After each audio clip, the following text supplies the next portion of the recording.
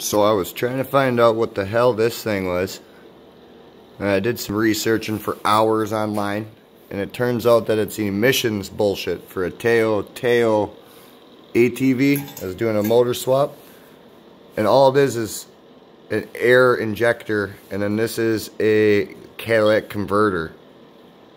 So you can take these off and just put a plate on it to delete it out of there I'm just to go with putting the other exhaust I got that has nothing.